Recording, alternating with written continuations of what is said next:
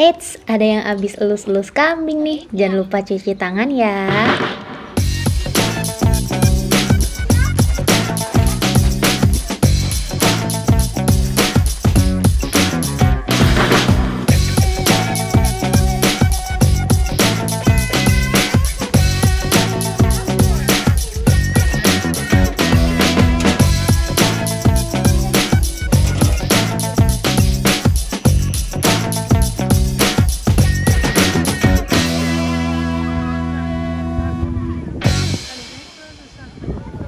Hai, kita lanjutin yuk lihat-lihat di kebun binatang Hanover.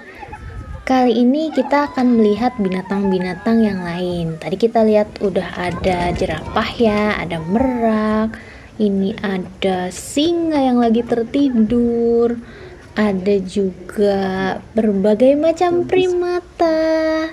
Nah, kalau yang ini jenis apa ya? Apakah teman-teman tahu? Kalau tahu, coba tuliskan ya di kolom komentar.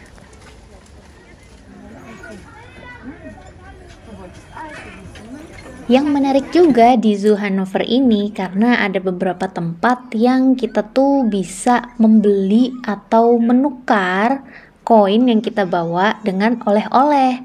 Nah, oleh-olehnya apa? Kayak gini nih contohnya.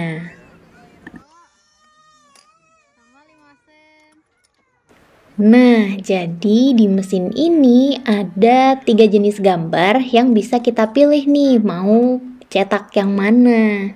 Caranya adalah kita masukkan koin 1 euro dan koin 5 sen. Harus 5 sen ya, kalau terlalu besar nanti nggak muat. Kalau terlalu kecil nanti koinnya terlempar.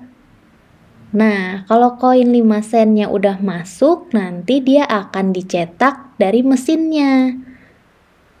Tuas ini kita putar sambil mesinnya mencetak si gambar.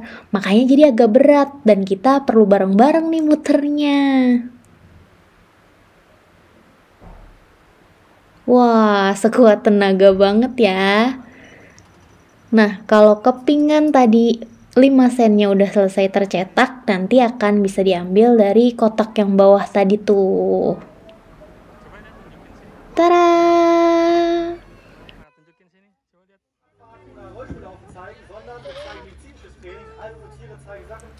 Dan yang ini juga jangan sampai kelewat. Setiap jam tertentu ada pertunjukan yang melibatkan binatang-binatang yang ada di Zoo Hanover ini loh. Ini salah satu contohnya. Hmm, hewan-hewan ini bisa beratraksi. Wow, sesuai dengan yang biasa dilatih.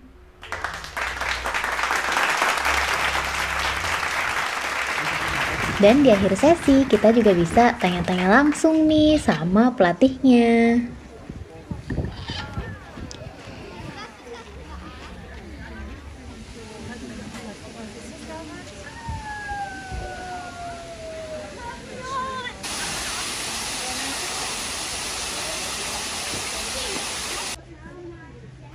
Yuk kita lanjut jalan-jalan lagi. Di kebun binatang ini totalnya ada kira-kira 61 jenis binatang loh. Jadi jangan sampai nggak ngelihat semuanya ya.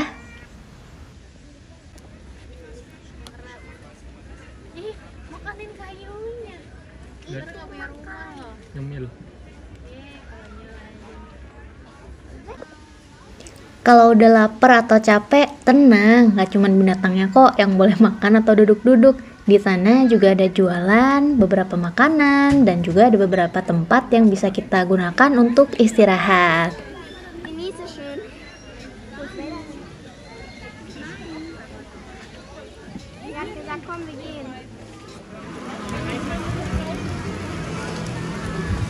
Sekarang kita udah nyampe di area yang butuh habitat spesial nih. Coba perhatikan deh, airnya bisa bergerak-gerak ya. Itu semacam ombak buatan gitu deh. Kira-kira ada binatang apa aja ya di sini? Kalau penasaran, jangan ketinggalan di video berikutnya.